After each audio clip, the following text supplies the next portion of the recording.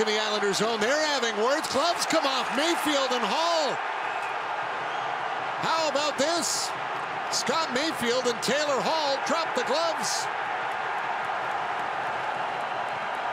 This is a, a very str strange one. Mayfield, obviously, the bigger, stronger player in all of this. You got the skilled Taylor Hall and then the big, strong defenseman Mayfield. And Taylor Hall, his teammates are going to love this, by the way.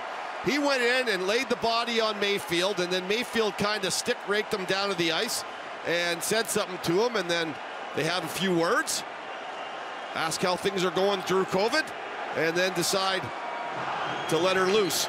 And good on Hall to stand in there, and his teammates will love him for it. But I'm sure Bruce Cassidy is saying, okay, Taylor, I think we'd rather you not be involved in this.